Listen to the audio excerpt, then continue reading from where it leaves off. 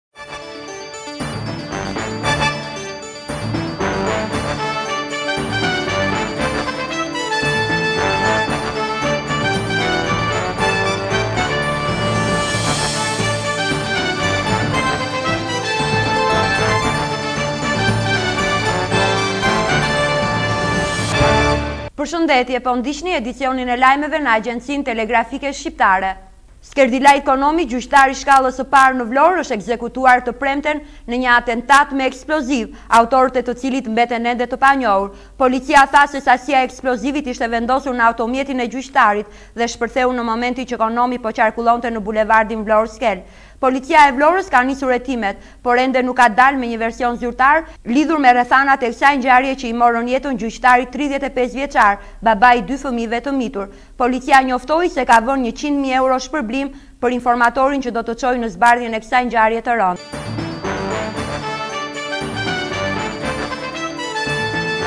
Atentati ndaj gjyqtarit të Vlorës është dënuar nga autoritetet e larta të vendit, të cilët e kanë konsideruar atë një goditje ndaj shtetit dhe sistemit të drejtësisë, ndërsa kanë kërkuar dënimin e ashpër të autorëve.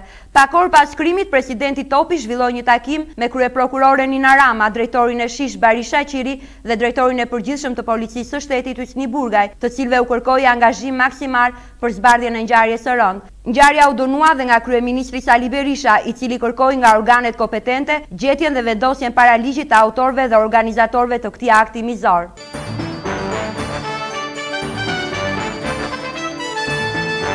Kryeministri Sali Berisha ka hedhur poshtë zërat se mund të kandidojë për postin e presidentit në korrik të vitit të ardhshëm, ndërsa përjashtoi mundësinë e çdo negociate për ndryshimin e Kushtetutës që lidhet me zgjedhjen e kreut të shtetit, një kërkesë kjo e artikuluar nga opozita. Presidenti i ardhshëm do të zgjidhet me shtatëdhjetë e një vota, Sikurse e parashikon dhe Kushtetuta aktuale, tha kryeministri Berisha në emisionin Opinion. Berisha përsëriti vullnetin e maxhorancës për të bashkëpunuar me opozitën për ndryshimet në Kodin Zgjedhor dhe për reforma të tjera që do të çonin përpara vendin në rrugën e integrimit evropian.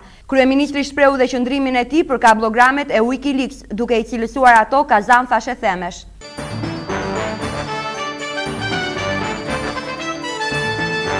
Presidenti Bamir Topi u takua të premten me ambasadorin amerikan në Tiranë, Aleksandër Arvizu, me të cilin bisedoi rreth situatës aktuale politike dhe institucionale në Shqipëri. Sipas Presidencës, dy personalitetet ndanë të njëjtin mendim se maxhoranca dhe opozita duhet të rinisin dialogun konstruktiv dhe të nxisin bashkëpunimin reciprok në shërbim të së ardhmes së vendit. Ambasadori Arvizu theksoi domosdoshmërinë e realizimit të reformave dhe siç u shpreh ai përgjegjësia i takon klasës politike shqiptare.